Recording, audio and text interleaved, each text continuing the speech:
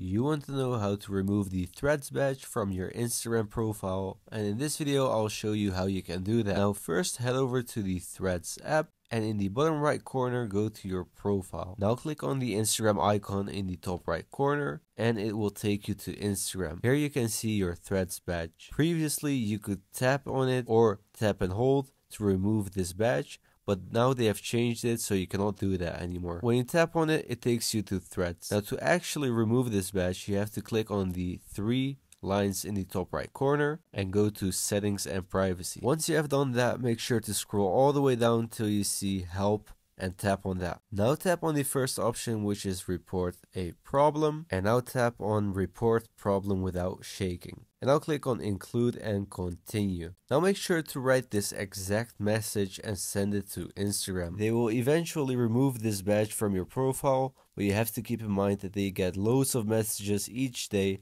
so you have to be patient. If this video was useful to you, please make sure to subscribe to support me and my channel. It is highly appreciated. And as always, I hope to see you on the next video.